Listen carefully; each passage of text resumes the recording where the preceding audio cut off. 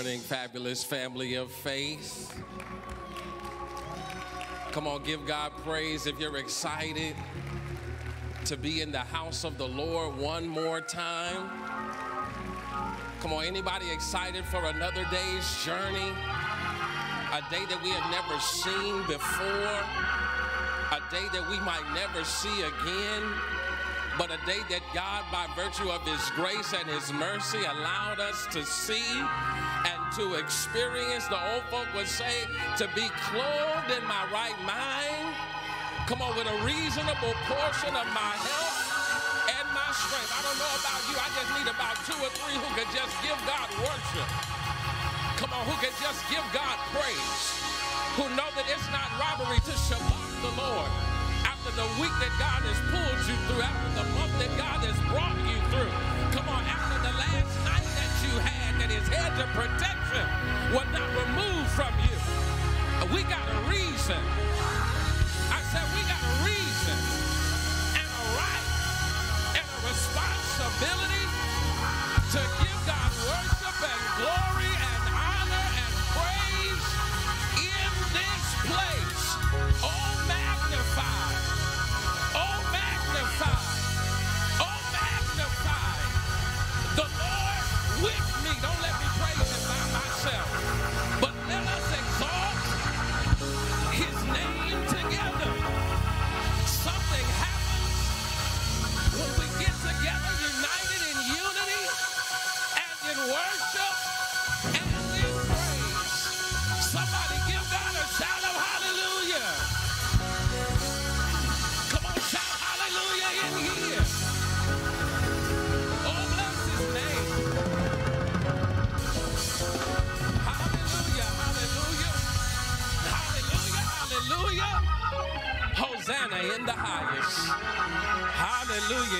Is a name above every name.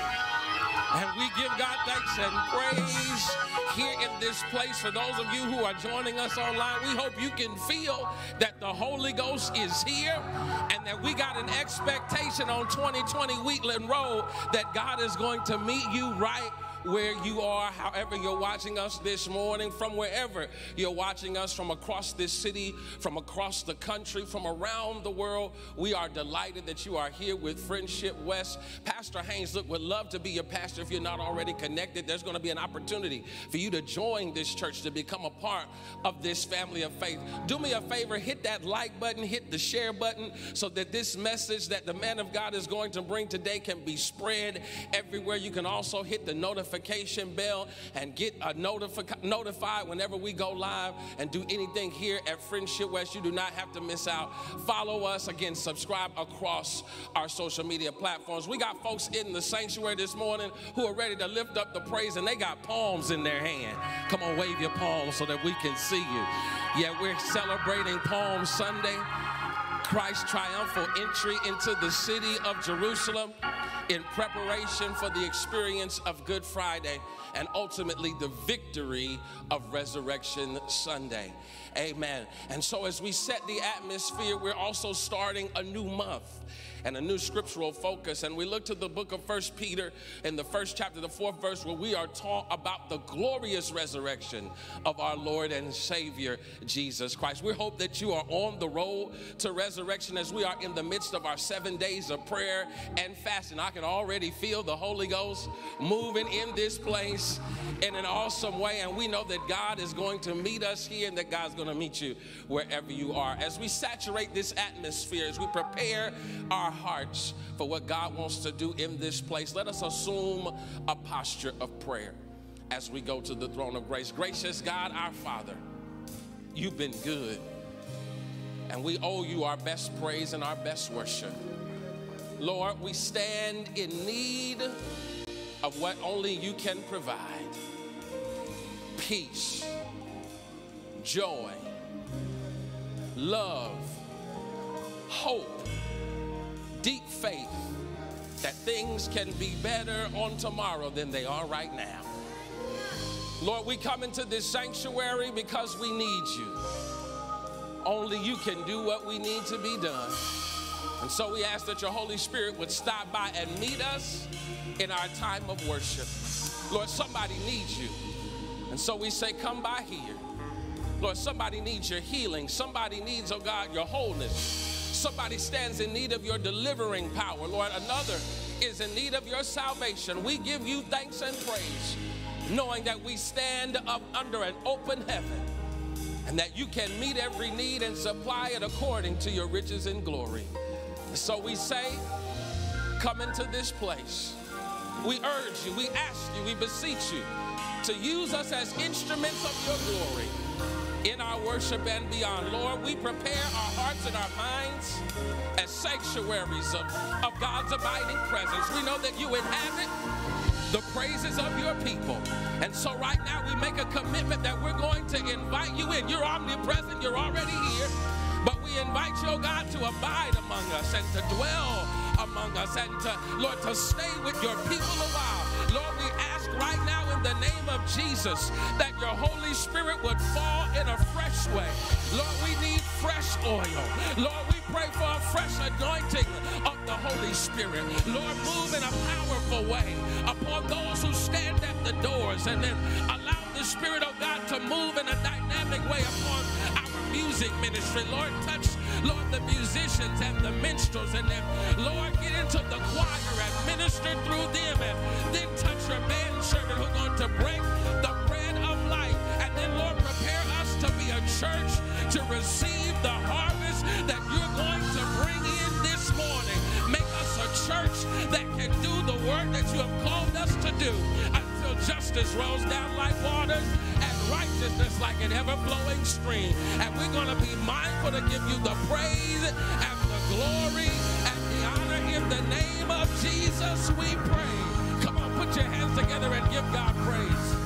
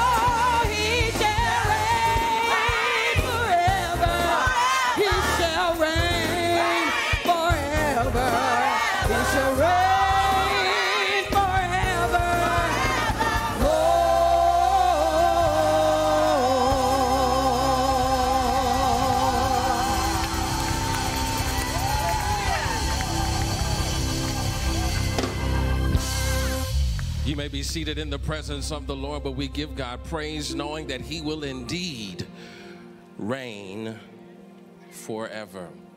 As we come to this Palm Sunday and this Communion Sunday, we reflect on that fact that Christ's kingship extends beyond even our fickleness in the face of his royal glory. Think about it. There Christ was entering the city, prepared to celebrate a final Passover meal with his disciples. Luke's gospel, the 19th chapter, tells us as he approached Bethphage and Bethany, at the Mount of Olives, he sent two of his disciples, saying, Go into the village ahead of you. And as you enter it, you will find a colt tied there on which no one has ever ridden. Untie the colt and bring it to me. And if anyone asks you why you're doing what you're doing, tell them the Lord has need of it. But what does a donkey have to do with victory? If nothing else, the donkey challenges us to ask how we will respond when we learn that the Lord needs all of us. The Bible says that as he entered the city, he was pressed on every side by a crowd who laid palm trees and palm leaves in his path and shouted with one voice, Hosanna in the highest. Blessed is he who comes in the name of the Lord. And I imagine that the woman with the issue of blood was in the crowd because just a touch of the hem of his garment made her whole. I got to believe that the blind beggar by the name of Bartimaeus was in that crowd because he met Jesus on the side of the road. And though they tried to make him be quiet, he would not not be heard. Jesus, son of Nazareth, he shouted. Have pity, have mercy on somebody like me. Yeah. A, a Pharisee named Nicodemus, a tax collector named Zacchaeus, the woman who met living water at the well. I believe all of them were there in the crowd. And Jesus was pressed by the crowd, but not impressed. Because the same people who wanted to crown him king a few days later would try to crucify him. So we come to this communion table bearing in mind one crucial fact Jesus died for everyone in the crowd. The crowd prepared to make him king. Right. The crowd working to see him crucified. Even those who crowded him at the communion table on the night he was betrayed. They crowded him but lacked the courage to stand with him. And yet he suffered and he hung and he bled and he died for everyone in the crowd. As we prepare for this Lord's Supper, though, don't think of the crowd. Posture yourself like a donkey. The people in the crowd needed to be seen, but the donkey was nearly prepared, merely prepared to be used. The people in the crowd needed to be seen. The donkey was prepared to serve. Let us search now our hearts as we prepare to receive the Lord's Supper today and ask ourselves what we will do when we discover that God has need of us.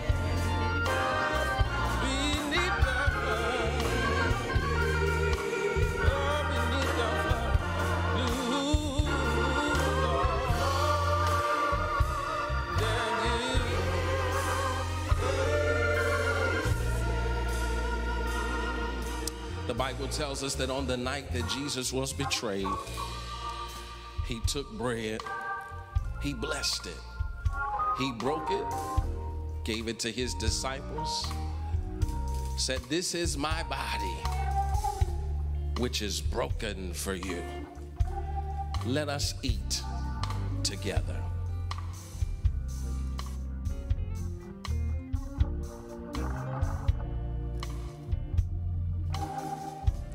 Finished eating the bread, Jesus took a cup. He blessed it and he gave it to his disciples. He said, This is no more wine, but a symbol of the blood that I will shed for you and for all, so that sin might be forgiven. Let us take the blood of Jesus together.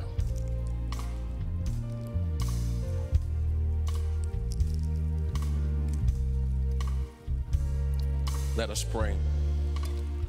Thank you, O God, for the reminder that sinners who are plunged beneath the flood lose all their guilt and stain. Thank you, O God, for the message and the meaning of this meal, for the service and the sacrifice that it challenges us to render. May, O God, the impartation of these elements consecrate us now to your service. May it make us more and more like you. May we strive to do the work to make the kingdom come on earth as it is in heaven. May we respond not like the crown, but like the donkey, prepared to do what must be done to ensure that the Savior's work goes on. Bless us as a church family. Make us one in the Spirit of the Lord, one body, one faith, one Lord, one baptism. This is our prayer in the name of Jesus, through the Holy Spirit, according to your word. Let the people of God say, Amen.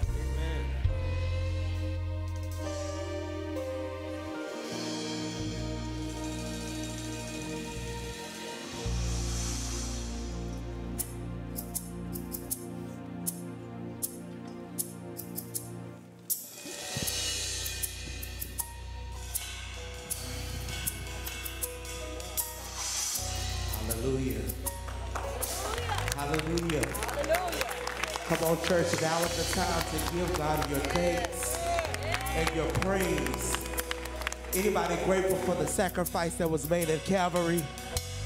Anybody thankful that on Palm Sunday that they marched him through the streets and they cried Hosanna, but later on they yelled crucify him. And because of that sacrifice at Calvary, we got victory on Sunday morning with him rising up out of the grave. But the victory couldn't come unless he had agreed to be crucified. Anybody know that he could have chosen to come down from that cross? He could have chosen to call down 10,000 angels, but yet and still he loved you enough, huh, to stay up on that cross. And for that today, God, we're grateful. For that today, God, we're thankful. Come on and lift those hands into this atmosphere and bless our God. Hallelujah. I heard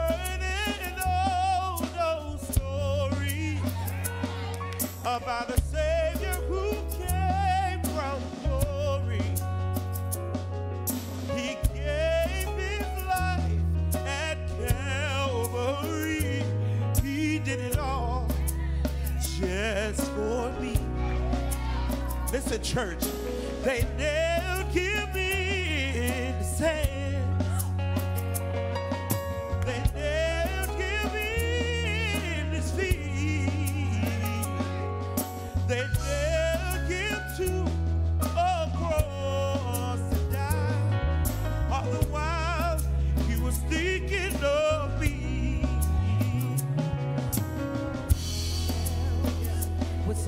Every mistake I made, the thorns were formed My life. from my life.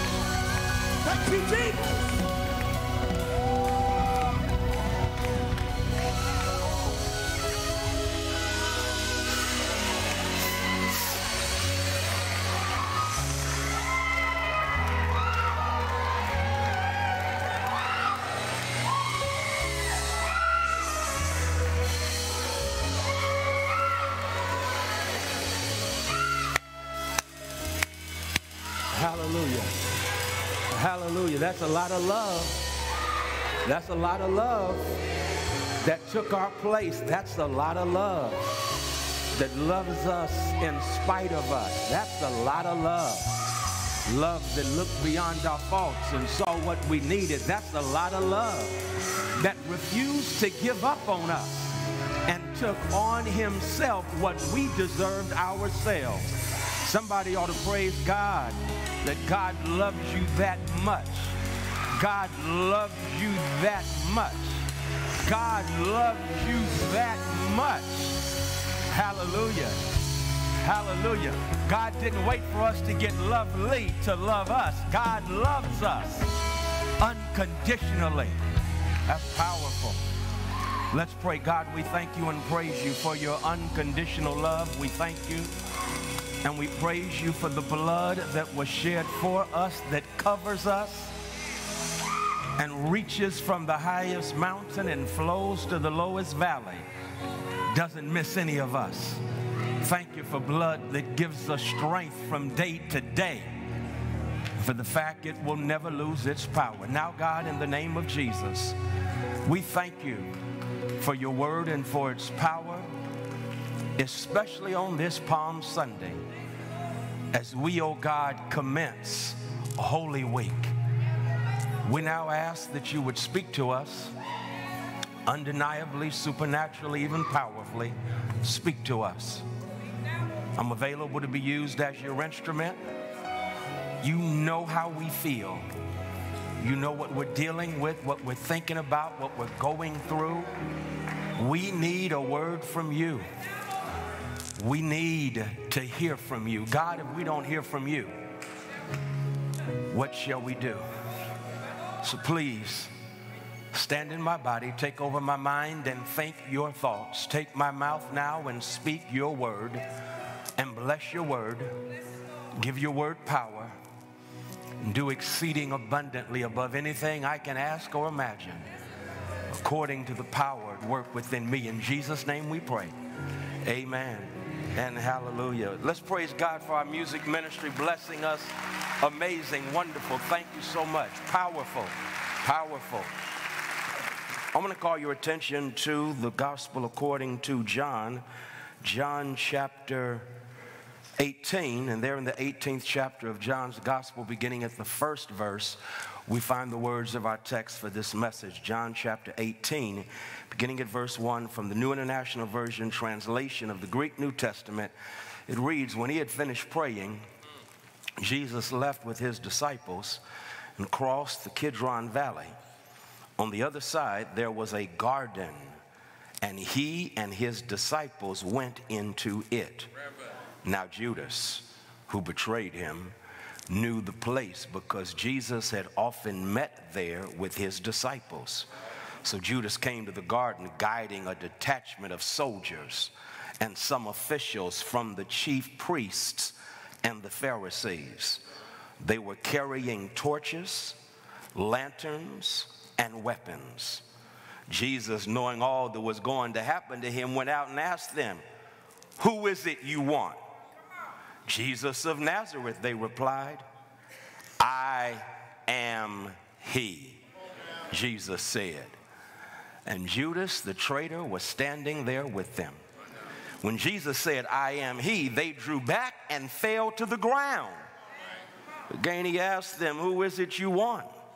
Jesus of Nazareth, they said, Jesus answered, I told you that I am he. If you are looking for me, then let these men go. This happened so that the words he had spoken would be fulfilled. I have not lost one of those you gave me. Then Simon Peter, who had a sword, drew it and struck the high priest's servant, cutting off his right ear. The servant's name was Malchus. Jesus commanded Peter, Put your sword away. Shall I not drink the cup the Father has given me? Look again at uh, verse 5 and 6. Jesus of Nazareth, they replied, I am he, Jesus said. And Judas the traitor was standing there with them. When Jesus said, I am he, they drew back and fell to the ground.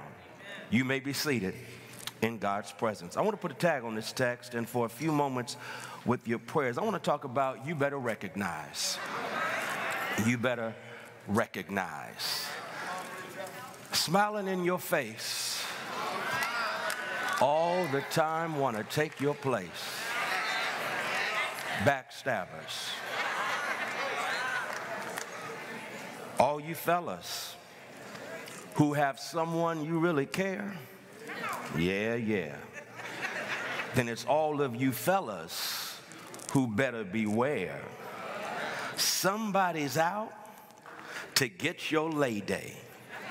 A few of your buddies they sure look shady. The blades are long, clutched tight in their fist, aiming straight at your back. And I don't think they'll miss what they doing. Smiling in your face. All the while, want to take your place. Backstabbers. I got some old school folk in the house who know that those lyrics don't come from me, but from the O'Jays. The O'Jays back in the day recognize that all of us, if we're not careful, will have people in our lives who are by our side, but they ain't necessarily on our side. They will kiss you to your face and hiss you behind your back. In a real sense, they smile at you in your face. All the while, they want to take your place. Backstabbers. And already I'm in somebody's Kool Aid. I've called out your flavor because you know people in your life who you thought were true, but they proved to be false. Well, perhaps that didn't get you, but OJ, I mean, Jay Z has another spin on the O'Jays. I like what Jay Z said when Jay Z raised the question about how you could be so, how they could be so comfortable speaking about him behind his back in your presence. I guess y'all didn't get that, so I'll quote Jay. Jay said, Don't tell me what was said about me, tell me why they were so comfortable saying it to you. Now, they didn't particularly say something themselves, but they listened as an audience and they gave, as it were, the person who had a lot bad to say about you a feeling of comfort and an audience so that they could talk bad about you. And Jay wants to know don't tell me what they said, but I need to know why they felt so comfortable saying it around you. Is there anybody in the house? Or maybe you're online and that's basically your deal, and that is you know people in your corner, watch this, who may not say bad stuff about you, but they entertain what is said about you, smiling in your face, all the while want to take your place. Backstabbers, others, watch this, may not necessarily stab you in the back, but what they will do is provide the climate where your back can be stabbed. I think I'll raise the question because I'm simply asking this day how many knives have you pulled out of your back? And then when you dusted the knives for fingerprints, you recognize that the person's fingerprints on the knives were folk you thought you were close to smiling in your face, all the while want to take your place. Backstabbers. I see if I can make this real plain because I don't think I've gotten with some of you yet. So I'll go ahead and share. This is, of course, April the 2nd. In two days, we will commemorate the 55th year since the slaying of the drum major for justice, Martin Luther King Jr. And Ricky, the other day, I'm reading something that arrested my attention. I had to download the book because a review of the book had been placed online and as I'm checking out the review of the book, I know I have to read it myself in spite of the extensive reading list I have for this dissertation. I had to pull this down, and this particular book is about Mac McCollough. Mac McCollough, you may not know that name, but I promise you, you've seen a picture with Mac McCollough in it, for it was April the 4th, 1968. Mac McCollough, my sister's sisters and brothers, was an agent of the federal government who was spying on a civil rights freedom group, a civil rights freedom group that had assembled in Memphis, Tennessee. He had a meeting with Martin Luther King Jr. on April the 4th. As a matter of fact, he had heard King's mountaintop speech on April the 3rd. And so here he is on April the 4th in the Lorraine Motel, but not just in the Lorraine Motel, but at around 6 p.m. He is outside looking up at the balcony where Dr. King is. In just a matter of moments, there was a loud pop, and when you heard the pop, they looked up, and King had fallen backward. Immediately, Mac McCollough ran up the stairs of the Lorraine Motel, grabbed a towel from one of the carts of the person who was serving as maid for the Lorraine Motel. Grabbing the towel, Mac McCollough goes to Dr. King, and when you look at that picture of King lying on the floor of the Lorraine Motel, you will see that there is Mac McCollough with the towel, putting the towel into the gaping wound in the neck of the drum major for justice, Martin Luther King Jr. Hold on. Mac McCollough has a daughter. His daughter grew up knowing that Mac McCollough was a police officer, but had no idea that he had infiltrated the civil rights movement on behalf, watch this, of the federal government of the United States of America. And he, my sisters and brothers, in a real sense, had to spend so much of his life, watch this, having to deal with the PTSD. Please don't miss this of having, uh, uh, having the appearance at least of betraying uh, a movement that was designed to benefit him. Uh, because when you look at that picture, Mac McCollough is black. He's a black man, and yet he's working on behalf of the enemy of the movement in order to infiltrate. Please don't miss this the civil rights movement, and now he is putting a towel in the gaping wound of the dying drum major for justice, Martin Luther King Jr. Mac McCollough, my sisters and brothers, was by King's side, but there's a question as to whether or not he was on his side Uh, because the federal government of this empire had bought and paid Mac McCollough. Please don't miss this to infiltrate the movement and, in a real sense, betray the movement. I'm not coming through. If you don't get Mac McCollough, perhaps you know the name Charles O'Neal, For Charles O'Neal infiltrated, here it is, the Black Panther Party in Chicago, Illinois, and he got he tried to get close to Fred Hampton. He again uh, was working for the federal government. Was this, it the CIA determined to ensure that the Black Panther Party not rise to a place of prominence and uh, liberating activity in this country? Why? Because in both instances, Mac McCollough and Charles O'Neal were used as tools of the federal government in order to infiltrate and infect a movement for freedom and justice. And please understand, my sisters and brothers, that's what empires do. Empires love to have some in our community who are bought and paid for in order to infiltrate and infect any movement for freedom and justice that goes on in our community. And that means that what I've often heard, all of our skin folk ain't necessarily our kinfolk, is a show enough reality because there will always be Judases, Ah, there's a name right there who will smile at you in your face all the while trying to take your place.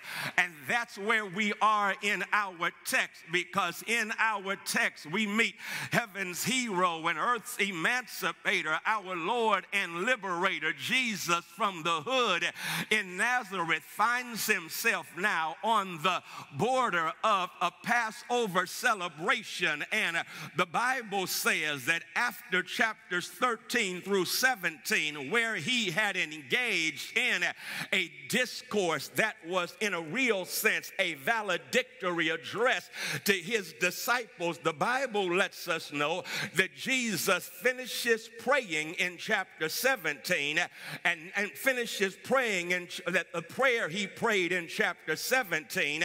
And now in chapter 18, he moves with his disciples across the Kidron into a garden that was their place for retreat, a place, watch this, for spiritual respite, a place where they could chill and connect with God and one another. And the Bible lets us know here comes Judas.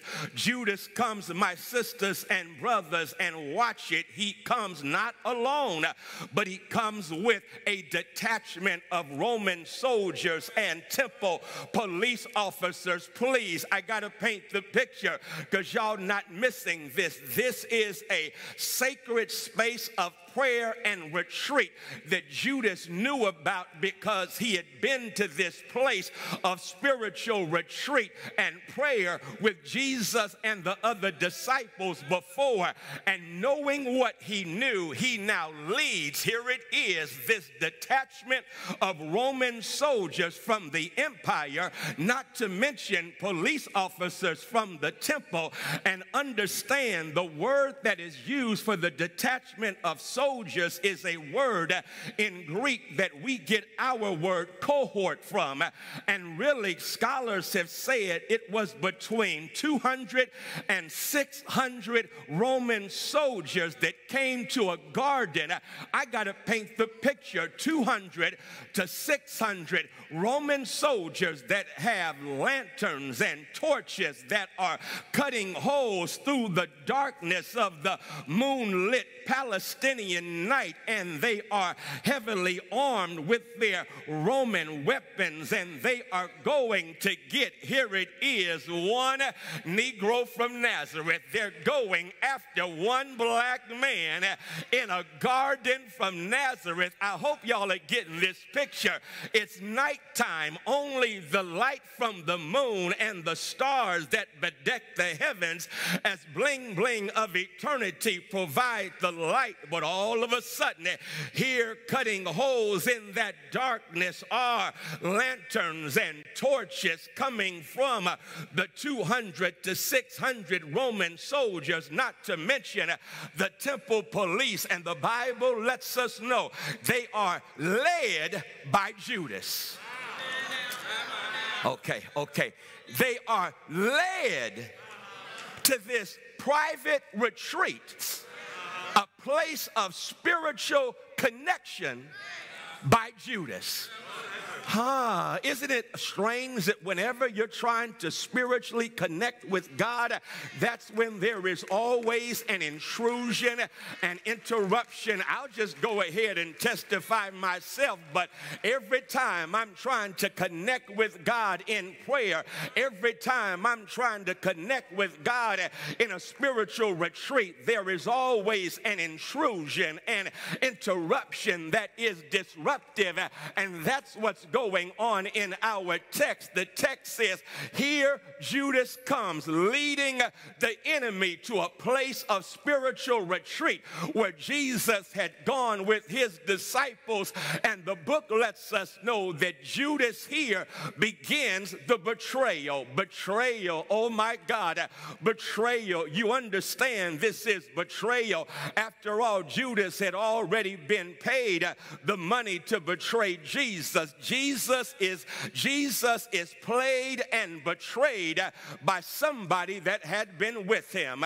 And let's be real, all of us, if we live long enough and we are about something, we will get played and betrayed by those we thought were with us. Have you ever been played and betrayed?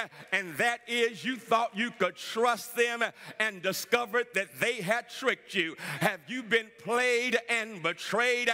As a matter of fact, they acted like they were true to you, and you discovered the whole time they were lying on you.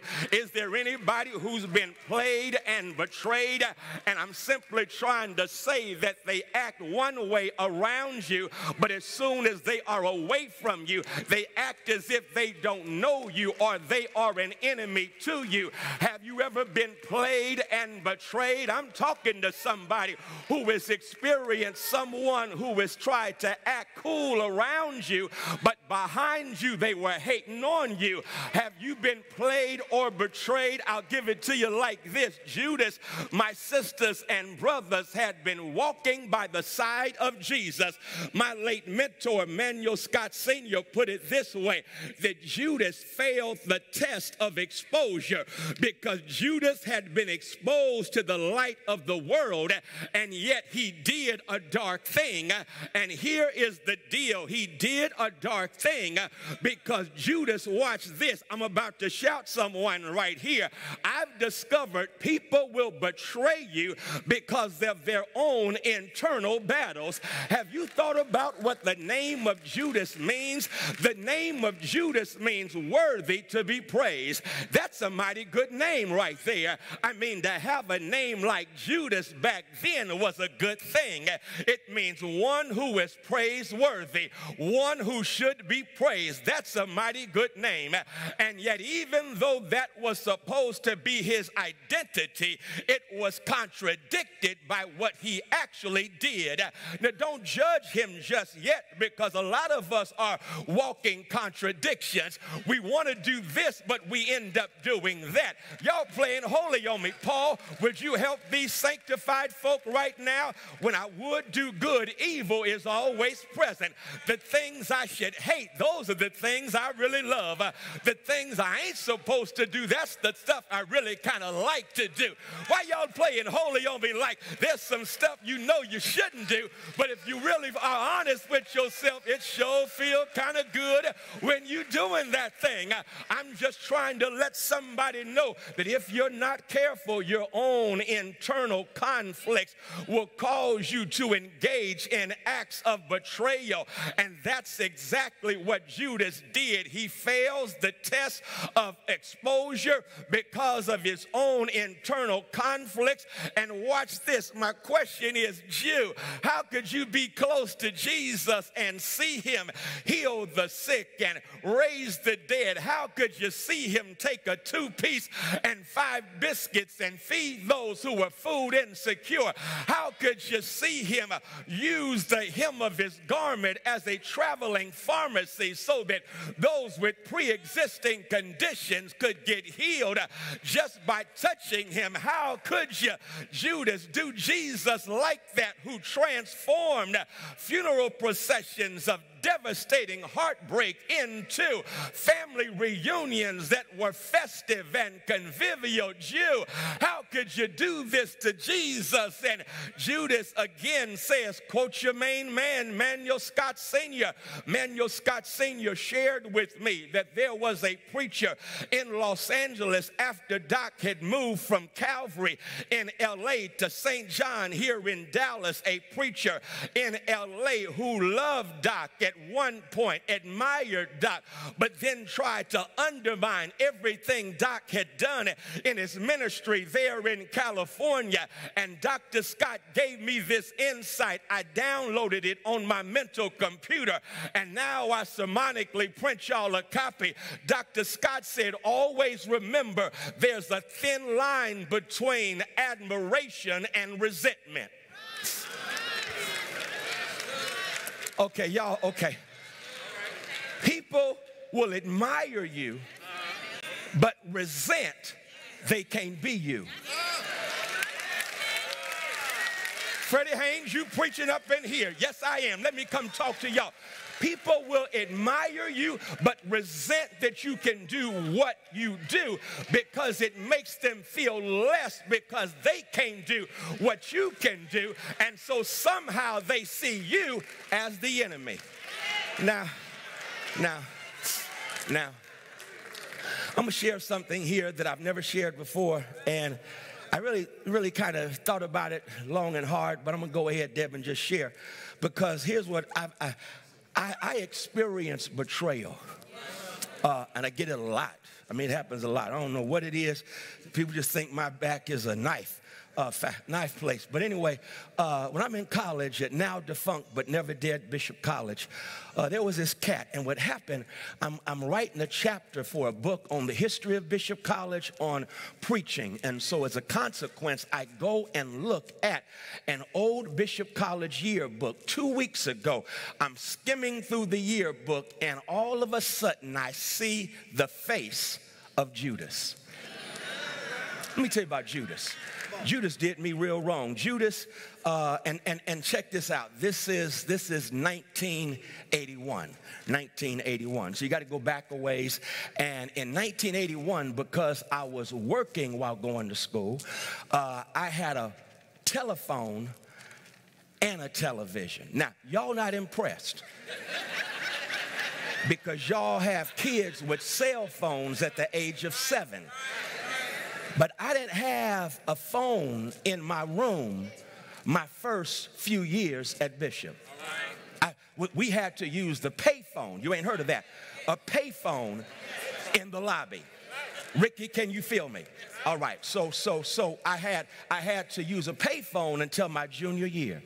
My junior year, I couldn't wait because I'd been working and I got me a phone, landline.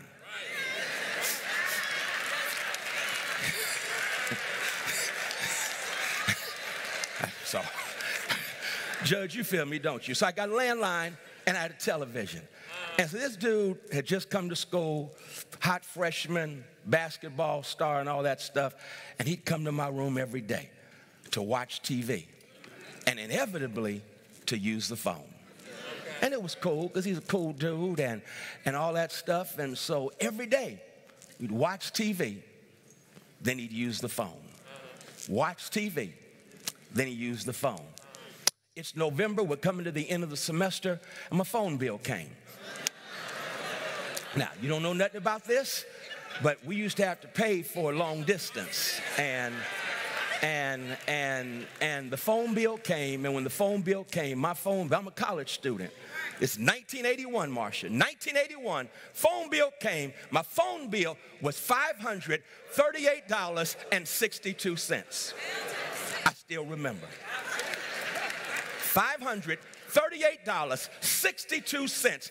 I went through that phone bill after speaking in an unknown tongue to see where the charges had gone to. I only had made like four calls to San Francisco to my mother, and so four calls did not come to $538.62. And as a consequence, I'm hot going through that bill and seeing a, a certain city and a certain number because I ain't giving his name away. A certain city and a certain number on repeat all throughout four pages of my $538.62 phone bill. I go through that thing. They are all charges that he had charged up. I did not have that kind of money. I put that phone bill on the floor and ran out the room trying to find this, and I could not find him. I went all over, fill in the blank. Don't act holy on me right now. I went all over that campus. I went down the gym. I'm going to find him. I'm getting my money. I did not find him. And then two a week later, we're about to go into finals. I know his class schedule. I follow uh, the class schedule because I know he's got to take finals. I find him and I greet him with some nice words. And then I say, and y'all stop judging me in your mind right now because if somebody ran up a $500 phone bill on you, you ain't saying praise the Lord.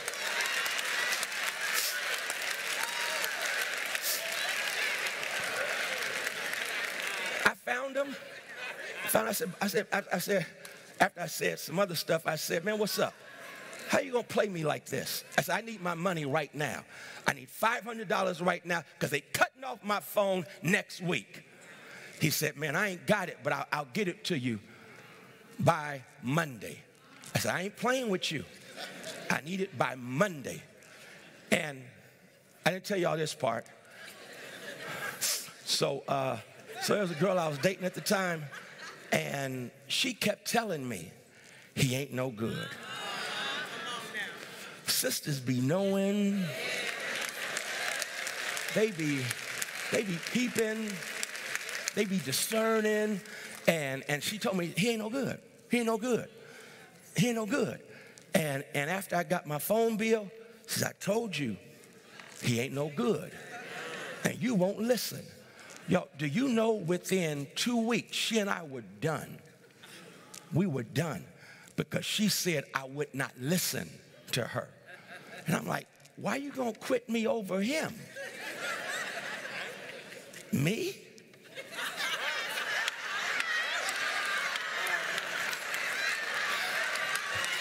I'm sorry, I'm sorry, I'm sorry, I'm sorry, I'm sorry. Don't, ju- don't judge me, don't judge. So check this out, check this out. So check this out. He never paid me. I couldn't find him that next Monday, and they cut off my phone. They cut off my phone. I could not find him. Fast forward five years. I run into the sister I was dating at that time. She asked me, How's your boy? Gave his name. As I said, after he ran up my phone bill, I never saw him. And then she told me this that messed me up. She said, I told you he was no good. Do you know when I was waiting on you one day, he sexually assaulted me? I said, What? I said, Why didn't you tell me? She said, Because you're crazy. Don't judge me. She said, And I know if I had told you what he had done to me, you would have sacrificed your future and been in jail. And I said, Yeah. And I said, If I ever find him, I'm going to deal with him. She said, I've been to counseling, I'm fine. I'm going to be fine. But you need to watch people who get close to you. He was your Judas and you didn't even know it because you were, but I'm not done. Fast forward 10 years later, I'm preaching in another city. I get up to preach, and when I got up to preach, this happened. I got up to preach. I get up to preach. I read my scripture, announced my subject. I moved into my introduction, and all of a sudden, I look in the audience. It's him. This mofo is in church.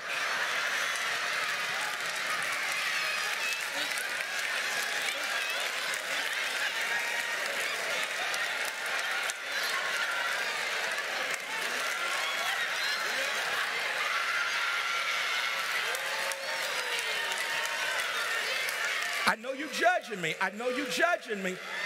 But he's in church. And not only is he in church, but listen, I'm preaching and he does this. It took everything in me, Uncle Lim, everything in me not to say, I'm so glad to see and call his name and then say he's a known sex offender as well as a lowlife who still owes me $538.62 and he's out there waving his hand in the air like he just don't care. I really wanted to do that but i but the holy ghost wouldn't let me and and and and and, and, and made me preach harder. And i'm closing and he stood up. Yes sir pronounce the benediction, he comes down to speak to me. He came down to speak to me. I'm right here. He came down to speak to me. And and and and, and the church had had the the uh, what do you call it? armor bearers, armor bearers. And so I said, I need y'all. You see him? And they said, Yeah, what's up? And I said, I need you to grab me because he may not make it out of here alive. And they said, Oh, you want us to protect you from him? I said, No, you didn't hear me. I need you to protect him from me. And y'all, he came up to me and he said, Fred, and tried to give me the bra hug. And I, I stepped back. I said, Y'all watch him. There may be knives in his hands. He's trying to hug me and he's going to put the knives in my back. Y'all watch him. They said, Pastor, ain't you so funny? I said, I ain't laughing. And y'all, he said, he said, he said, Fred, what's up, dude? What's up, dude? Dude? Ain't your dude. he said, and, and it's a line of people waiting to speak. So I got to maintain some kind of holy decorum because I don't want, you know how y'all judge me. So, so, so, so I got to maintain a holy decorum, but I'm wanting to cuss him out. And so, and so I said, man, where's my money? And then I said, I heard what you did, and I gave her name. I heard what you did. He said, he said, man, you still upset about that? I said, I'm still upset about that? That's what you got to say to me? You owe me $538.62. Worse than that, you had the nerve to sexually violate someone I was dating. I let you in my space, and that's what you decided to do. And then he said, Well, man, you had everything. Even my girlfriend liked you. So I thought I would just pay you back. And then he turned around and walked out. That's the end of the story. I ain't seen him since. If I do see him, pray.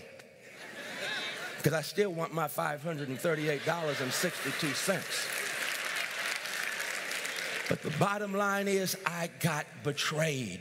And I'm letting someone know right now that people will betray you. But before you get all high and mighty, if you don't deal with your own internal stuff, you may betray some people yourself. And so in our text, here is Jesus of Nazareth betrayed by his own. And the Bible lets us know when he got betrayed by Judas, that Jesus, in essence, lets us know when you know who you are, God somehow can take what others do to you and use it to work out for you so that you can let go of what they did and move on to what God is up to. I think that's where I want to go in these few moments and bless somebody and let you know, yeah, it may happen. Yeah, you may get done dirty, but I serve a God who has a plan for your life that's bigger than what others have done to you. And God can take what they do to you and somehow use it to work out for you as long as you have the faith to say to them and that situation you better recognize. Now, that ain't original with me either. I got that from Sam Sneed and Dr. Dre back in the day because Sam Sneed came out with a song called You Better Recognize in collaboration with Dr. J. And when somebody says in hip hop culture, you better recognize, it means don't you miss out on recognizing recognizing my authority. Don't you miss out on recognize what I've got going for me. You better recognize here in the text, watch it. They come and Jesus doesn't wait for them. Jesus goes to them and says, Who are y'all looking for? And they say, Jesus the Nazarene. Jesus says, I am. Now, if you've seen the text, he ain't in there. He is added by translators to make the English understandable. When they said, Jesus the Nazarene, Jesus simply answers, I am.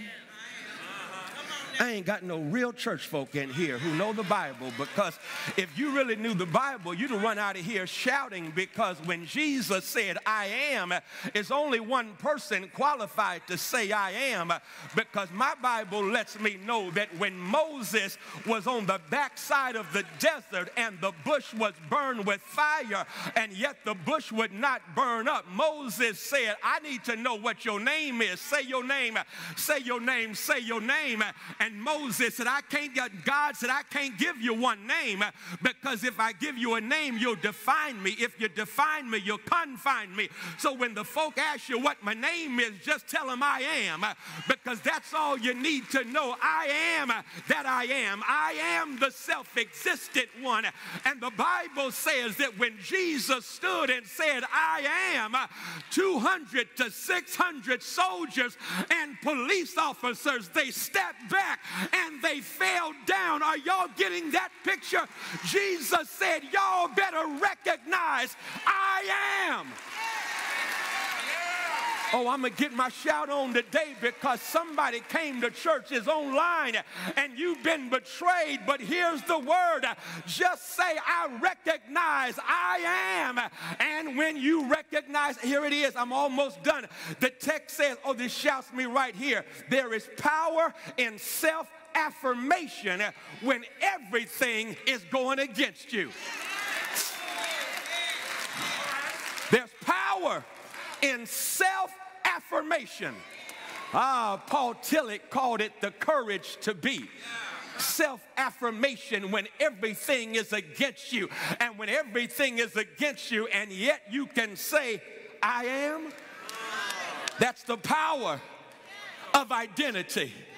Our preacher last Sunday, she was so amazing. She said, she talked about the importance of knowing who you are. I want to piggyback on that and simply say, Francis Cujo Waters, that there is power in knowing who you are. Your real power is in your sense of identity. Whenever you don't know who you are, that means there is a weakness to you. But when you know who you are, there is a strength, there is a power, and you walk around like you know who you are. And when you walk around like you know who you are, other folk recognize your power. And when they recognize your power, it's rooted in your sense of identity. No wonder Jesus could go into the wilderness and Satan say, If you are the Son of God, turn these stones into bread. Jesus, Freddie Haynes remix it for us. Jesus said, I ain't got to prove to you who I am by satisfying my appetite. My daddy just said, This is my beloved son in whom I'm well pleased. I ain't got to prove nothing to you.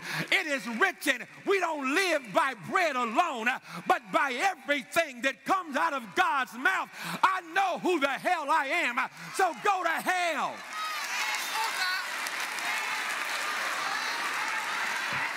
I'm trying to let you know there's power in knowing who you are. There's power in standing in the strength of your identity. Jesus stood there and said, I am, I am, I am. Uh, uh, uh, uh, Dr. Shively Smith, my brilliant professor, one of my favorite of all time, Shively Smith, in our class on 19th century, the uh, interpreting the New Testament through 19th century African American women writers. Awesome class, awesome class.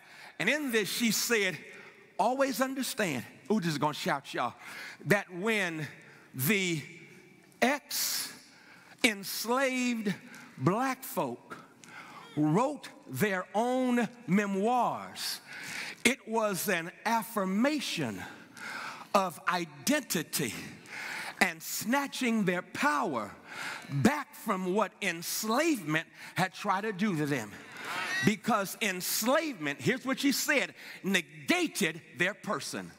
Enslavement I'm, do, I'm, I'm doing this for Mr. Anti Woke, Governor DeNazi there in uh, uh, uh, Florida. Enslavement was determined to erase their name erase their history, erase their sense of identity, disconnect them from their religion and from their God. And so when they became free, the first thing most freed Africans did was to change their name. Oh, I'm about to mess y'all up. Araminta Ross freed herself. When she became free in Philly, they asked her her new name. She said, Harriet. Harriet. Harriet Ross. Harriet Tubman. Oh, Harriet. I love you so much. You know what I did? I looked up the name Harriet, its etymological meaning. It's going to shout you. It means ruler of the estate. Okay. I'm going to go talk to y'all. Y'all seem like y'all came to have some church. Harriet had been enslaved. Now she's emancipated and she names herself ruler of the estate, meaning I'm running this thing right now. Y'all used to think you could run me, but I'm running this thing right now. My name is ruler of the estate, and I'm trying to let somebody know that Harriet knew there was power in knowing your name, power in knowing who you are. I won't forget this as long as I stay black. I was preaching, not preaching, but I was I was at Howard University. I was really in DC in what was it, 2013. Uh, 2011, 2015, I was at DC a lot because uh, Albany was going to school at Howard. And so, but 2013, it happened to be the 50th anniversary of the March on Washington. And I got invited to the White House. Uh, night before the march, I got to speak at the march, and then here's your shout right here. And then I got to speak at Howard that Sunday. And I wasn't on to preach, but when Dean Richardson heard I was there, Dean Richardson says, Come on. And there was another preacher on, but Dean Richardson said, I want you to get up there and just talk for 10 minutes. I said, What? He said, Just get up and talk for 10 minutes. And so I got up there, and Ricky, the Lord came over me, and I talked for 10 minutes. And I mean, they went crazy. And I ain't bragging, I'm testifying, okay? That's what's going on. So they went crazy. It was just crazy. 10 minutes, 10 minutes. sat down. Once I sat down, afterwards, Reverend C.T. Vivian, Google him, should know him in this church. C.T. Vivian, you know him, don't you, Rick? C.T. Vivian came up to me and said these words You the greatest preacher I've ever heard. Now that's homiletical hyperbole. You know, preachers, we we can do that sometime. We exaggerate. So I, I, I but it meant something because it was C.T. Vivian. C.T. Vivian, who stood on the steps there in Alabama and got beaten, bloodied by a vicious Jim Clark. C.T. Vivian, who Martin Luther King Jr. said was the greatest preacher he had ever heard. And he says that about me. And when C.T. Vivian said that, I just hugged him. I said, Thank you for your service, your ministry, your preaching, your prophetic word, your sacrifice. And C.T. Vivian said, But you know what? You're supposed to be a great preacher. He said, Look at your name. Your granddaddy was a great preacher. Your daddy was a great preacher. And then y'all have the nerve to have Frederick Douglass. You're supposed to be a great preacher. And then, and then he said, he said, you, you, you, you can't help but do it. And then I saw C.T. Vivian a year ago because, because I was in D.C., because Congresswoman Maxine Waters had me address the Finance Committee uh, there in Congress. And so I'm on to address the Finance Committee, which is predominantly Republican. And I see C.T. Vivian on my way in, and I told him what I'm about to do. He said, You're going into the lion's den because we're addressing the payday loan hot mess. And so I go to speak, but C.T. Vivian stops me and says, Don't forget your name. I said, What are you talking about? He said, When you go in there, you don't forget your name. I said, I know my name. He said, No, no, no. Your name is Frederick Douglass Haynes the third. Your granddaddy was a great preacher. Your daddy was a great preacher. Your name is Frederick Douglass, named after the silver-tongued orator for freedom and abolition, the prophet for freedom. Don't you forget your name. You go in there and remember who you are. And he says, if you know your name when you stand before that Republican-controlled committee, just act like you belong.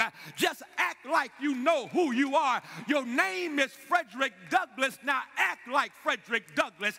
Your name is Frederick Douglass Haynes. Act like Frederick Douglass Haynes. I ain't bragging, I'm testifying. I wish y'all had seen me.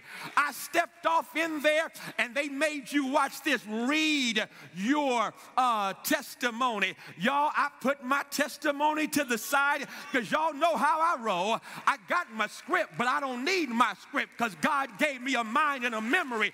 And I stood, I stood there and looked them Republicans in the eye. And my last line was, and Jesus is going to say to this committee, I was hungry and you gave me a payday loan. And when I said that, Maxine Waters shouted, Whoa! Y'all, it all happened because C.T. Vivian said, Remember your name and act like it. I came to tell somebody When Judas betrays you, remember your name and act like it. Remember your name, child of God.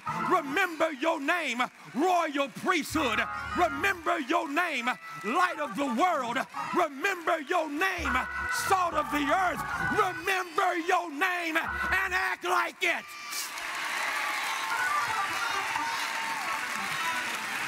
There's power, power in knowing who you are. I'm almost done. Here it is. And then here's the good news. When you're betrayed, power knowing who you are, don't let what they do to you take you from you.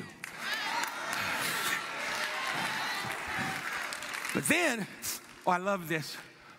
When they betray you, you are preserved by a promise hanging over you. Jesus said, I am. They fell back. Jesus said, All right, who y'all looking for? Get up, get up. Who y'all looking for? And they said, Jesus Nazarene. Told y'all I am. Since y'all looking for me, let them go. It's, it's 200 to 600 of y'all with weapons. Let my boys go and, and just take me since that's who y'all came for. Those disciples were, were protected by a promise. Here's your shout. The shout is that they're protected by a promise because Jesus had already prayed, God, I have not lost any of them.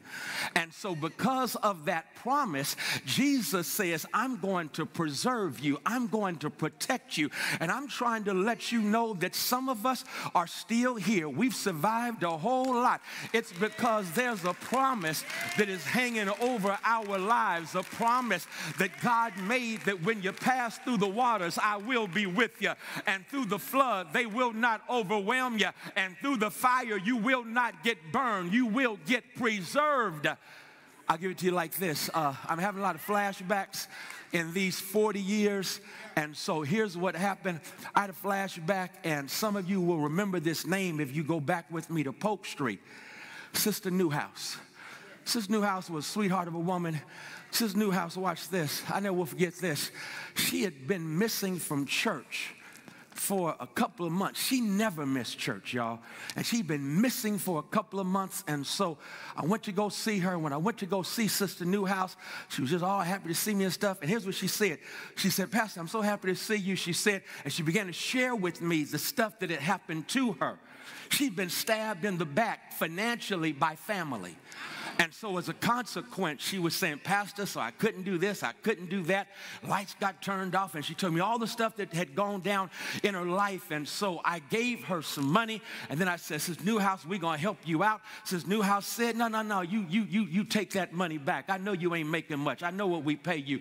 You take that money back. And so I said, Sister Newhouse, God will be mad at me if I don't leave this money with you. She said, Don't you take, don't you give me that money. And so, y'all, I literally had to back out of her house and throw the money in order for her to receive it. But this is where she blessed the mess out of me. Sister Newhouse said, Well, just know I plan on being at church Sunday, and my testimony is the Lord spared me. Boy, if I was in an old school church right now, folk would be running and shouting because that's an old school testimony. The old folk, every now and then, they would say, The Lord spared me. The only reason I'm here is because the Lord spared me. The only reason I didn't survive my sickness is because the Lord spared me. The only reason I've survived hell and high water is because the Lord spared me. Is there anybody here with the Lord spared me testimony? With all the hell you have been through, with all the pain you have suffered, with all the drama you've had to overcome? Is there the Lord spared me testimony in the house? I could have been dead sleeping in my grave, but the Lord spared me. I'm only here because the Lord spared me. My heart's been broken, my mind's been under attack, but I'm here because the Lord spared me. I'm done. I'm done. The text finally says this. It says this. It says, watch it. power and identity, preserved by a promise, but finally the text there's a purpose over your life. So stay focused through the betrayal because Sunday is on the way.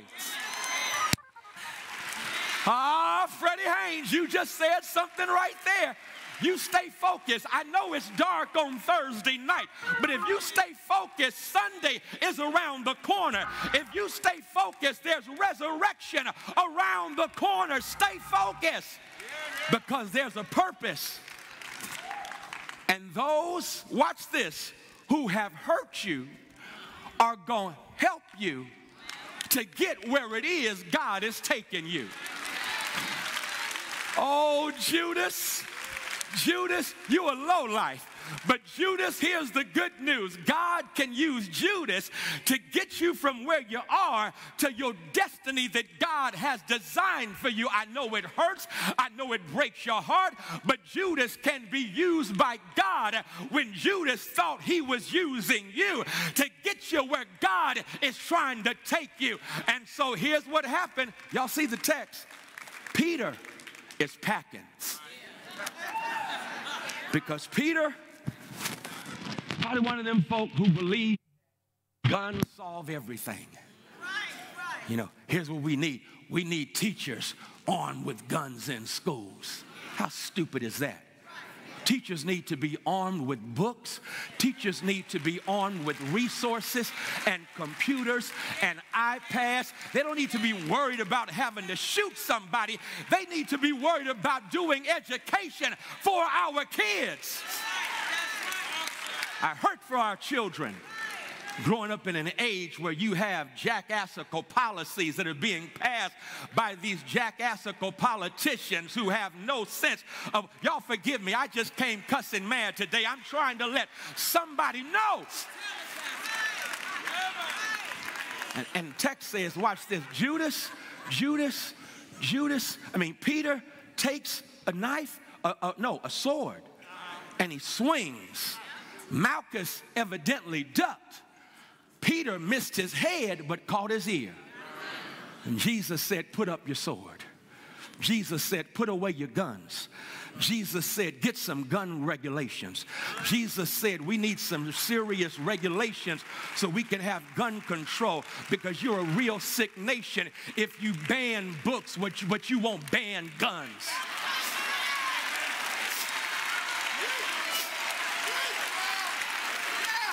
You sick. You sick. You want to ban books, but you won't ban guns. There's something sick about a country that does that. And so, so y'all know what happened. Jesus said, "Put that mess up." Uh, I ain't going out like that. Judas, you do what you got to do because what you don't understand, Judas, is God's going to use you to help me get where it is I'm trying to go. And Judas, watch this the dirt you've thrown on me is going to help you dig your own grave. That's what you got to know. You ain't got to pay Judas back. You ain't got to spend no time going after Judas. Jesus Bible says, "Vengeance is mine," saith the Lord. I will repay. You ain't God's paymaster. I'll write them a check. I'll handle up on them. And Judas, the very dirt you threw on Jesus, you're using it to dig your own grave. And the good news is, Jesus said, "Judas betrayed me. I got lynched on Friday, but if you hang out till Sunday, you're going to find out I'm coming back. If you hang out till Sunday, you're going to find out I'm going to rise again. I'm done. I'm done. Last year, I'm preaching in Houston, and there is a storm that hits that city on Wednesday. And a storm hits the city on Wednesday. This is going to shout you. His city on Wednesday, and my host invites me to his home for dinner. And the host invites me to his home for dinner, and we're grubbing on the food. The thunder is roaring. The lightning's playing its zigzag games against the black bosom of the sky. And before I know it, the little girl who's his daughter is real precocious, and she says, Daddy, I'm scared. And he says, It's all right, honey, you're in here, Daddy's got you. And then she said, Okay, Daddy, well, you don't mind if I sit in your lap while you eat. And he said, Yeah, I'll feed you and me too. And so she got in his lap Thunder that time roared, lightning flashed, and she didn't budge. And, and daddy said, You're not scared? She said, Why would I be scared? I'm with daddy now, so I'm not going to be scared. And then watch this. That's not even the shout. That was good. I'm, i may preach that next time. But but the shout is this: the news is on. The weather forecaster comes on. The weather forecaster said this weather's going to be bad, and I'm looking at it because I'm leaving Thursday, and I got to make sure that my flight is going to be okay. Weather forecaster said we're going to have rain all day tomorrow, flash floods probably on Friday, going to be real bad on Saturday. But the good news is Sunday, the sun, watch this, is coming back. Okay. I'm gonna talk to y'all. Y'all seem to get this. Uh, Thursday, we're gonna have more rain. Friday, flash floods. Saturday, the rainstorms are gonna keep coming. But the good news is Sunday, the sun is coming back. And when he said the sun is coming back, that little girl jumped out of her daddy's lap and stood up and shouted, Hallelujah, the sun is coming back on Sunday. And when she said that, I wiped a tear, but then mama said this, a black mama, the mama said this, she said, that part.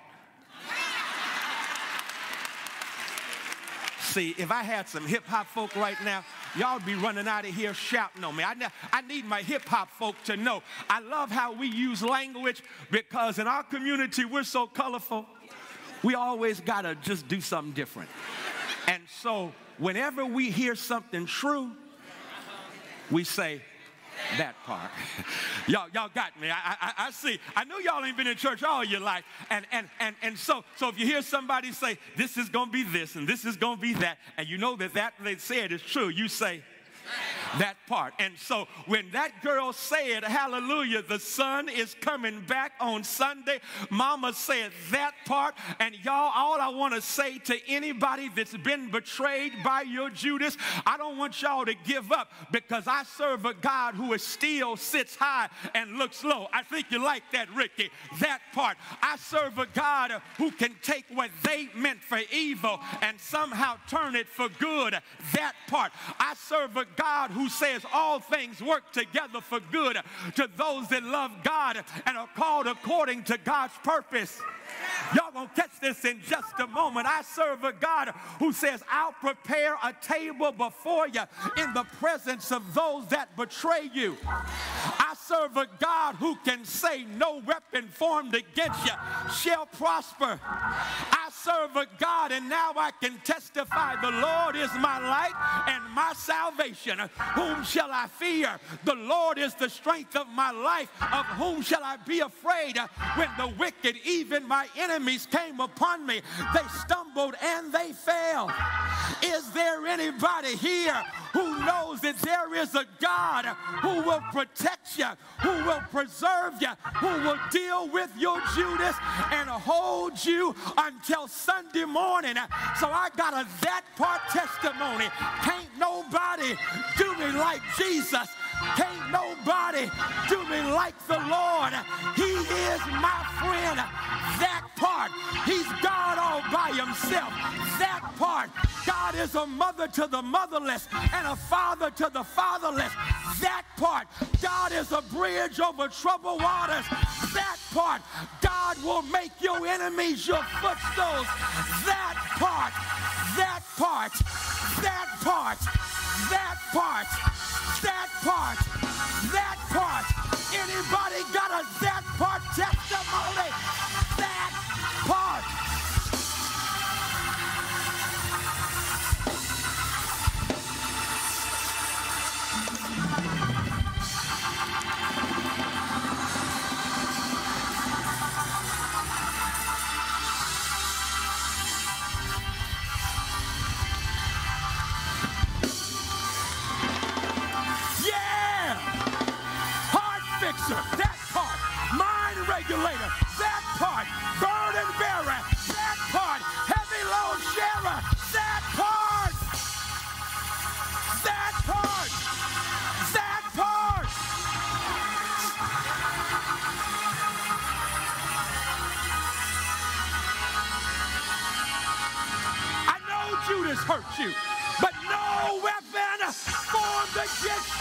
shall prosper.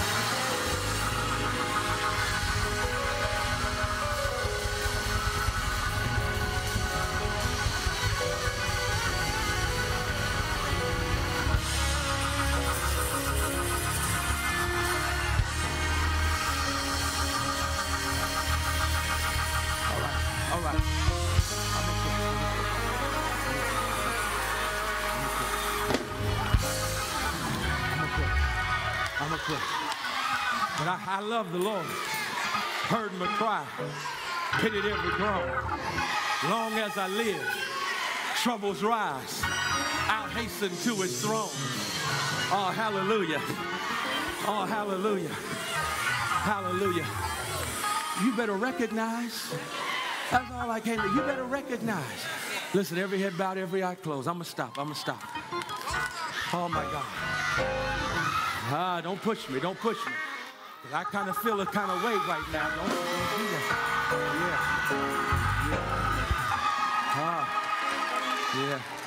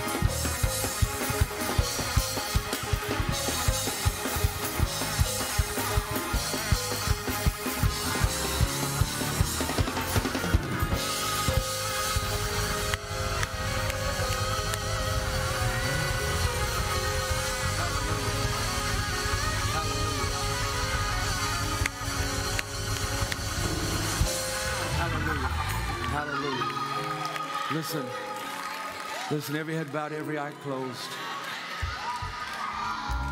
God, right now I cover in prayer everyone who's been betrayed, wounded,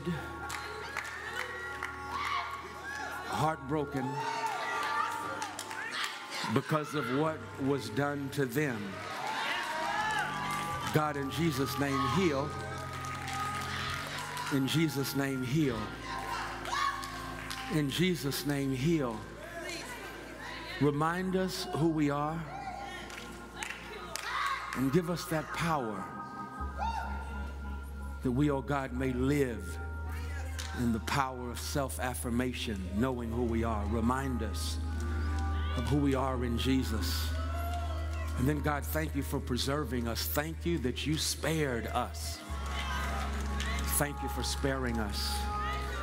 Thank you for a purpose that gives us the strength to hold on till Sunday. God, right now, I cover in prayer everyone under the sound of my voice. Those who have been betrayed, heal. Those who betrayed themselves, deliver. And in the name of Jesus Christ, save those who are lost. In the name of Jesus Christ, set free those who are bound, heal those who are broken.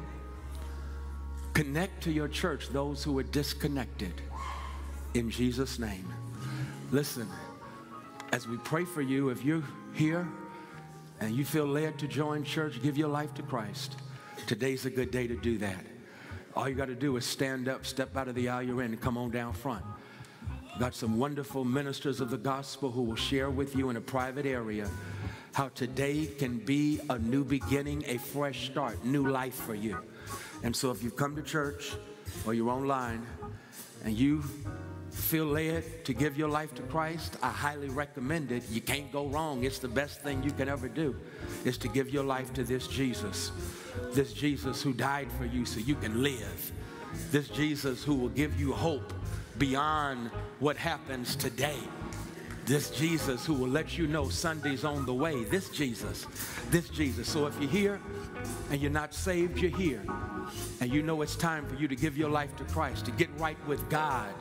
I want you to stand up, step out of the aisle you're in, come on down front and give your life to Jesus Christ. Please don't wait, don't hesitate, don't vacillate. God is speaking, God's Spirit is moving. Won't you come?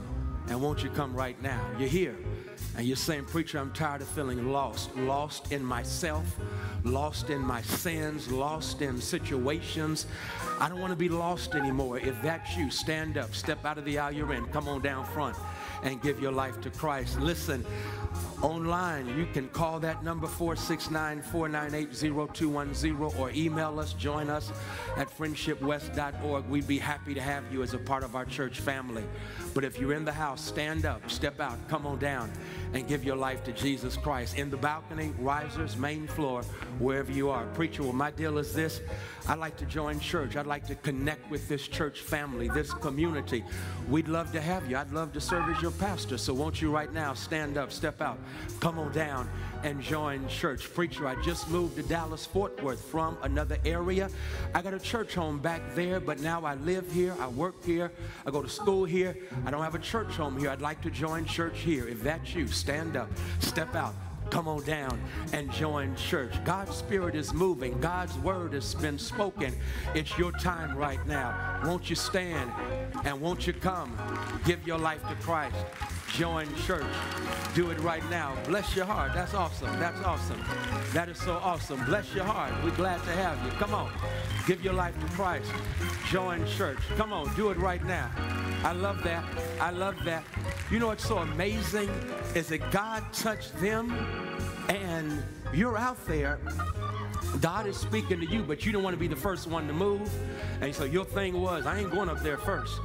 And I don't know if it's the right time. And so God touched them. That lets you know you ain't got no excuse now.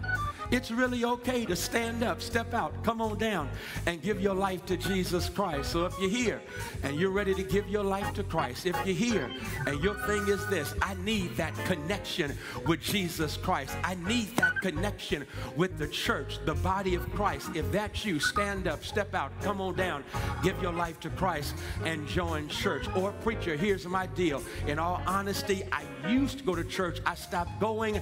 I know I need to get back in church. Today's a good day to get back in church. So stand up, step out, come on down, and let's get back in church. Here's the deal. Bless your heart. Bless your heart. We're getting ready to stand. When we stand, the choir's going to sing. And when they start singing, that's your signal. Stand up with us. Step out of that aisle you're in. Come on down front and give your life to Christ and join church. Y'all ready? Shall we stand? And won't you come right now? Come on, give your life to Christ. Join church.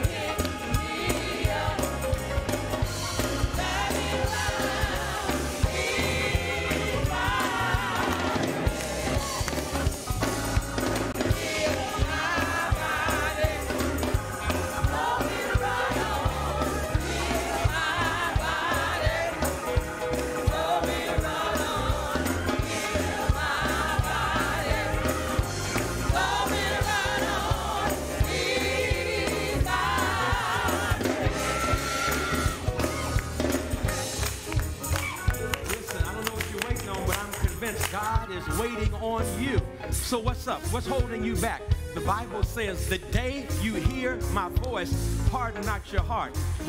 God is speaking, why you not gonna make a move? Because the best thing you can do is give your life to Christ. The best thing you can do, the best decision you can ever make is to say yes to Jesus. Listen, Jesus is waiting on you, wants a relationship with you. And I know you're saying, well, I don't want to do it in front of all these people. People, you better get over people because people ain't got a heaven or hell to put you in. People ain't going to see you through what you're going through and give your life meaning and purpose. You need a Savior who knows you, who made you, and knows what you're made for. So you ought to come on down and give your life to Jesus Christ. And then you're saying, well, I don't know, I'm going to wait till next Sunday, Easter. Next Sunday ain't promised to you. All you have is right now. And I tell you, all of us who know Jesus will testify. The only regret we have knowing Jesus is not doing it sooner. And so won't you right now, come on, give your life to Christ, join church. Choir's gonna sing one more time. That's your signal. God is waiting on you. Come on right now. Can't nobody.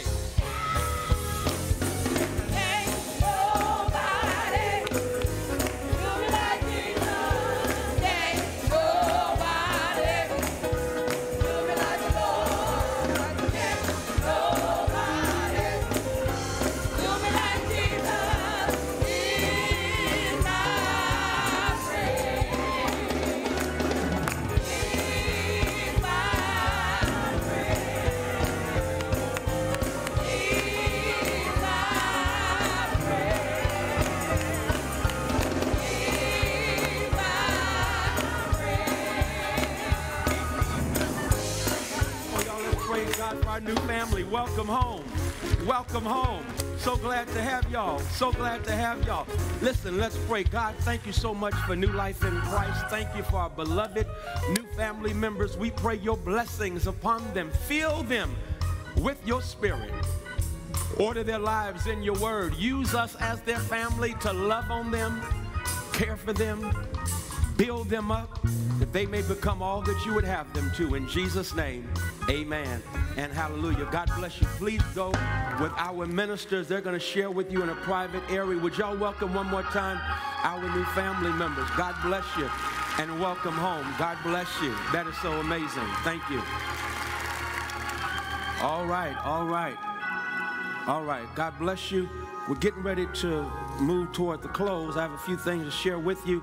Number one, it's offering time. It's offering time. Please prepare your gifts in a liberal and loving fashion. First of all, listen, you know how good God has been to you. That's enough. That's enough when you know how God has been to you, when you know how generous God has been, that's enough right there. But then think about the fact that sometimes we are getting in our own financial way because of the fact that we don't obey what God's word says. Obedience is better than sacrifice. My Bible says, the Bible says, bring the whole tithe into God's storehouse. The tithe, the tenth off the top that says, God, you number one in my life. God, you're first. You own everything. I manage manage what you blessed me with, and we give that back to God. So I invite you right now to give, knowing that you don't want to get in your own financial way, but also give because it's a blessing to give, because you're blessing the work that God does through this church. I'm so proud of what God does through this church on the regular. I'm talking, we don't wait till Thanksgiving and Christmas to take care of those who are houseless. We do it all year round. As a matter of fact, some of our houseless VIPs, they worship with us every single Sunday. We feed them, we bless them. But guess what? Ministry that is extensive is expensive. So please invest in God's work and help us to do the great work that God is blessing us to do. You can text to give 972 200 9419. You text FWBC to that number and the amount. There's the QR code. Scan it. Give through that safe vehicle. Givelify app. Search search out Friendship West, give through that vehicle, or friendshipwest.org. Follow the prompts on the screen or the FWBC app. You can give that vehicle, but through that vehicle, or you can give old school with that envelope. And so please do it, and we will give on our way out. All right? These things, and then we're done. Number one, hallelujah. I'm so excited, so proud of the fact that our ministry led by Pastor David Malcolm Magruder. We're in a season of prayer and fasting right now, started yesterday through Good Friday, through Good Friday, seven days of consecration. Please join us on this road to resurrection. Join us Wednesday night for a wonderful time, Holy Wednesday of prayer. And then next Sunday, next Sunday, 8 o'clock and 10 o'clock, 8 o'clock and 10 o'clock, 8 o'clock. For those of you who want to rush to brunch, you can come, say you've been to church, and we'll have a quick service for you, okay? And then at 10 o'clock, we're just to go all out and have us a great time, all right? But please, 8 o'clock, 10 o'clock next Sunday on the road to resurrection. It's to be fire, and we are excited about that. Pastor Magruder, where's Pastor Magruder? He went out. He said he had an announcement. All right. Well, there is a pastoral care hotline. If ever you find yourself hospitalized or with a family member who is hospitalized, this is the pastoral care hotline. Or if you, watch this, experience bereavement and you want that Friendship West love and service, please get that number down 972 228 7241. 972 228 7241. That's the hotline number, okay?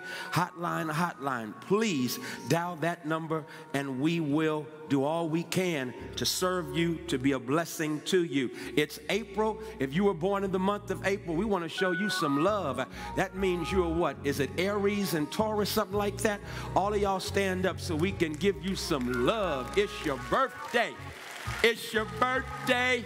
we going to praise him like it's your birthday. So, ha- Happy birthday to you. God bless you. My prayer goes out to each and every one of you that this will be your best birthday celebration ever. But wait, that the year will be better than that. God bless in Jesus' name these your children to have the blessed best year ahead. May this celebration be one that reminds them that they are precious, that they are amazing, and that they, oh God, will live that out. In Jesus' name, amen and hallelujah and happy birthday. Did y'all get married this month? If you got married in April, please stand so we can give you some marriage love. Do you know what this month is? It's your anniversary. And so happy anniversary. God bless you. God bless these unions in a powerful way.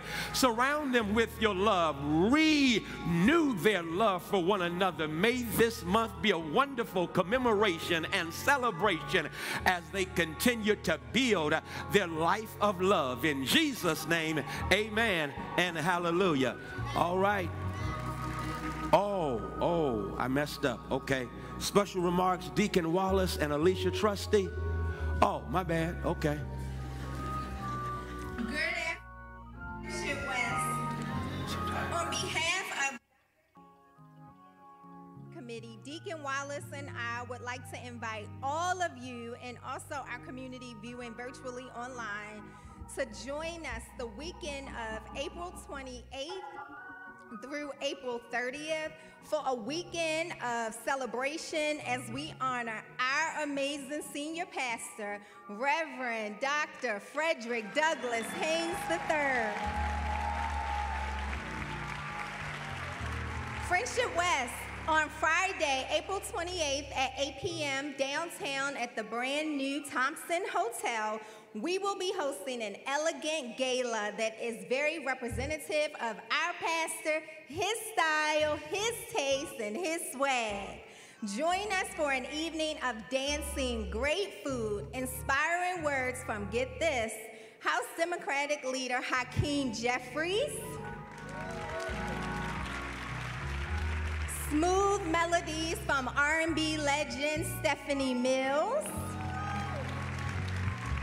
dance tunes from Natural Change, who here in Dallas we more commonly refer to as the Paul Rogers Band. So make sure you bring your dancing shoes. Tickets are on sale now. You may find them at www.eventbrite.com, www.friendshipwest.org backslash events, which is our events page, or www.friendshipwest.org backslash our hyphen pastor. Trust me, you will not want to miss this. This black tie formal event uh, is selling fast, so you want to make sure you will get your tickets. Tickets will be on sale until Wednesday, April 26th, or until we sell out. Again, April 26th, or until we sell out. So that means it's possible that tickets will be gone before then. Then on Sunday, we hope that you will be in the house and join us for worship service uh, at 10 a.m. on Sunday, April 30th, where Dr. Maurice Watson will be back as our guest preacher. And also at 12 noon, we will have the unveiling of this year's 2023 Frederick Douglass Haynes III Justice Walk of Fame inductees. This year, we are inducting and will honor Dr. Yvonne Ewell, Miss Shirley Ison Newsom, and Dr. Harry S. Wright Sr. All, yes, yes. All who are uh, courageous and uh, trailblazing educators.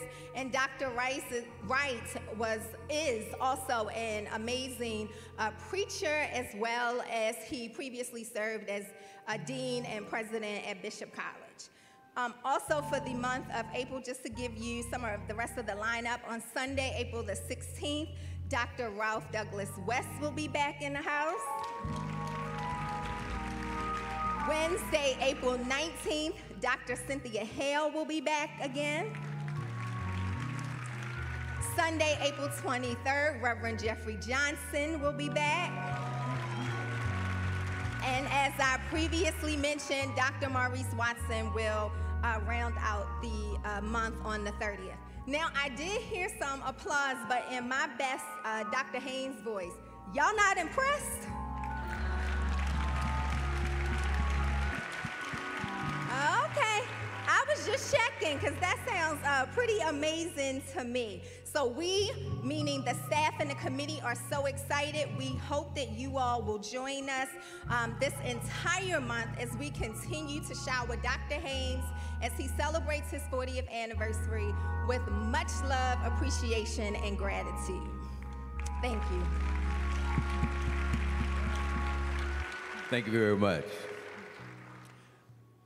I know if you were listening, you heard of all of the worldwide and statewide and nationwide, nationwide accolades for our pastor, and they're all true. This is our opportunity to show him how much we care, how much we love him, how much we appreciate his leadership. Now, we've been asked to give for a certain amount, $400 per ministry, $40 per person. That's the minimum. You certainly are welcome to give more. Certainly, I know that Pastor Haynes deserves more.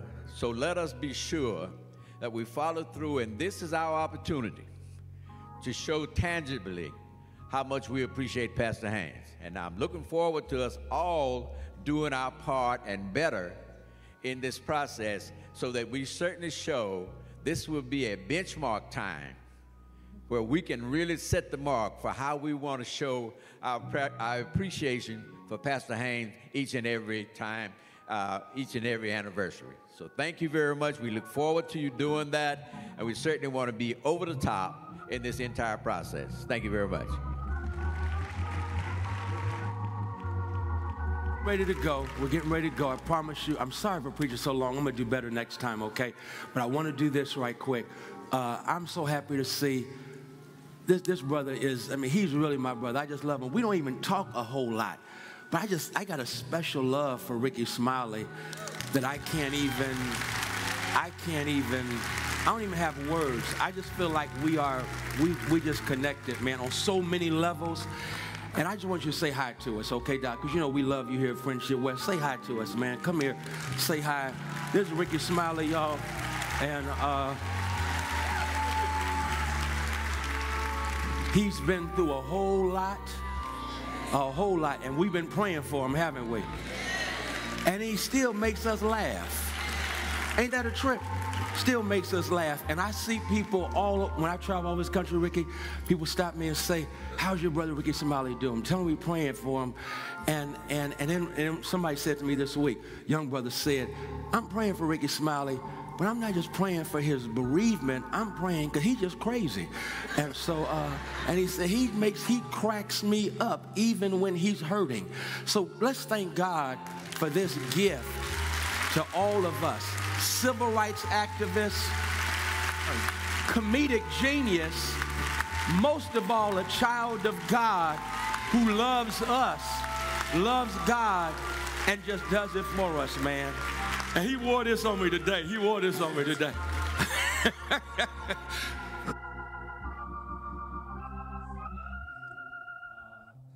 lot of people don't know. Um, Pastor Coleman, Oklahoma City, was with him last night. Told me to tell you hello. I did Alpha Kappa Alpha, and we drove from Tulsa. So I got back, drove because I wanted to come to church.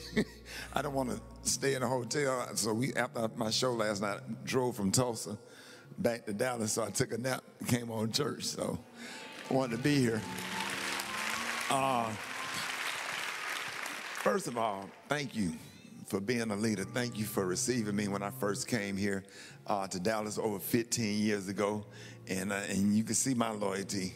We down like four flat tires. And, uh, and I absolutely uh, uh, love Pastor Haynes. I want to thank everybody for their prayers. It has been a challenge. Uh, I've never been through uh, anything like this, uh, you know, uh, even in that time. Um, like I said last night, if I never felt the goodness of God in my whole life was through this process. Because stuff like that, losing a child, will make you lose your mind. You know, still have to get up and do radio in the morning. I, I could have took two weeks off, but on the third day I got on up. I said, well, not like, No, I don't want no lightning to come down. On, on- the third day, I got out, out the bed. I didn't arose nothing. no, I don't, I don't want no lightning to come down. It just sounded like that because cause that, cause that Wednesday, okay, y'all know what I meant. I Don't have that kind of power. Uh, just to be able to get up. And I had to do radio, Pastor Haynes, because, you know, uh, people that listen to the radio, we have 8 million listeners every morning. Their kids died also. Their mothers died. Their fathers died. Their grandparents died. They're on the way to dialysis. They're on the way to chemotherapy. And much is given, much is required. And I have to realize that it's not about you. And people didn't stop dying when my son died. So the work continued. My son was 32. Lady last night said, hey, my daughter was 13. And then you hear all of the stories and stuff, and, and that's why you have to keep pushing. You have to cry it out. You have to pray it out. You have to, when you get in a good spot to laugh and have a good time, you have to make sure that you have a good time to charge your battery up. But I'm saying all that to say this no matter how bad it is or how bad you think life is or, or the challenges that life throw at you, that man, the God that we serve is just so absolutely awesome. We serve a powerful God, and that's why I'm here. I'm just here to give God the praise. I think what you said, you said, um, you know, he's a heart fixer and, and a mind regulator. And I never understood that. My grandmother used to say that all the time. You know, we was growing up. God is a heart fixer and a mind regulator. Just to be able to get out of the bed this morning, just to be able to drive down here, not pull over on the side of the road, be half of your mind, part of your mind wants you to just drive over in a ditch and throw it all away. But you got kids, you got grandkids, you got people depending on you, people like that. So you have to keep pushing. So if there's any parent in here that's going through that and been through that, and anybody struggling with kids, we have to start having a, a, a clear conversation about uh, fentanyl, about drugs. I lost a son at 32. I lost a niece and a nephew at 32 in two years at age 32. And we have to have these conversations. We can't give kids everything they want. We have to, parenting is not a popularity contest. Sometimes you got to be in the house, it got to be quiet in the house. I'm sorry. It's got to be quiet in the house. Sometimes you have to go in there and just cook something for yourself since I don't nobody want to talk to you. It's not a popularity contest. We got to give kids more of what we had as opposed to what we didn't have. You understand? Give them choices. You know, we don't ask my grandson what he want to eat. Whatever I fix and put in front of him, you bless it and eat it. You don't get to tell me what you don't like. And, and just because my son left my parenting is not changing. I'm not to change. I'm not going to soften up. I am standing strong and I'm grounded in my parenting principle because I'm raising a king to be suitable enough for your granddaughter. So, I, and I just, and I'm telling, if you got an uncle, if you got a deacon, if you got a pastor, anybody willing to step up to the plate because the father's not there, do not undermine the process. It's tough. Parenting is tough. Braces hurt, but they correct the smile.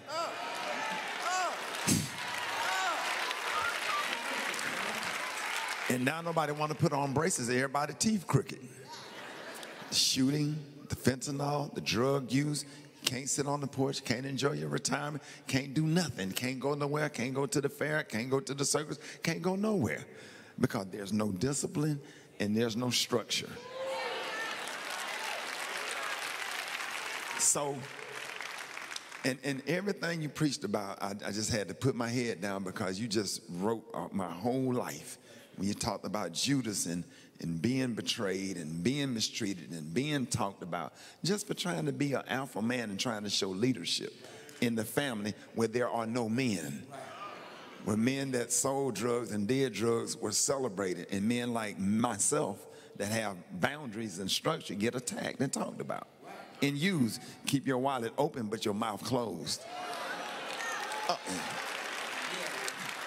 So, my son and I, we had a, a estranged relationship, but I still loved him. But sometimes I had to love from a distance. in order for him to respect me as a father. And God, in his own way, decided to do what, what he had to do and what he needed to do. And I miss my son. I love my son. But we, but now my duty is to go out to try to make, because my mother says some, some have to die so others can live. So in our ministry, we got to talk about what's killing our kids. Fentanyl, they putting it in marijuana. We got to start talking to our kids in middle school. They putting it in candy. They giving, they find any ways to get your kids addicted to stuff. And learn, talk to your kids. Talk to them. One, one puff off some weed and they dead. A lady told me last week, she said, my son smoked weed. He took one or two puffs and we found him dead in the car on the side of the house. That's how serious it is. So let's have the conversation and we give God the glory and God gonna uh, allow me to have a platform just where we can try to save lives. So I thank you for your prayer. I love you, Pastor Haynes. Beautiful. Uh, thank y'all. Y'all was awesome. I'm gonna get back down there Hammond one day, one Sunday. Y'all let me play. He said, "Come on now." yeah, yeah. No, all right. We can sing something in G.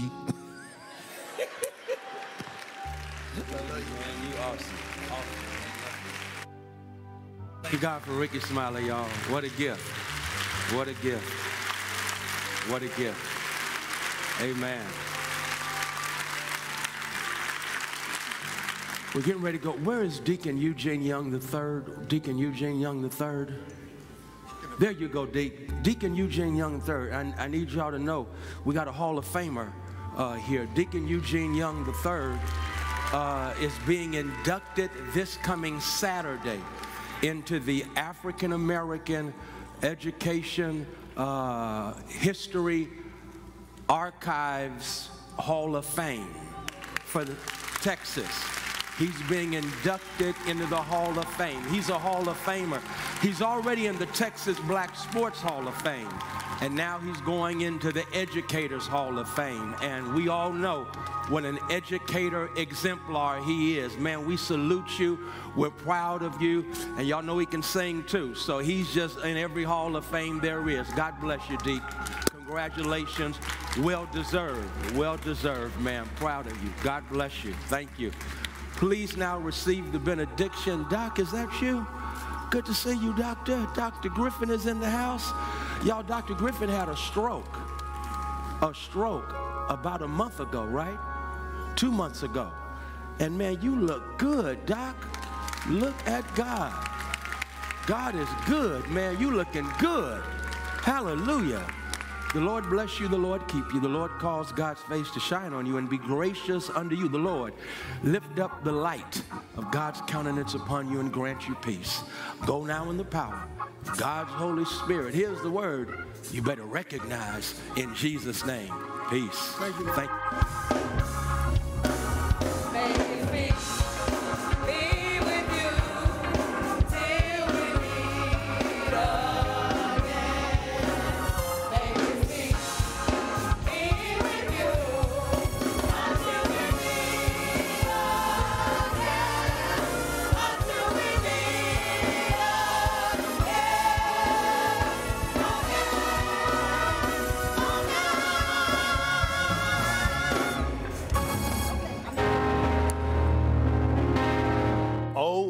OMG.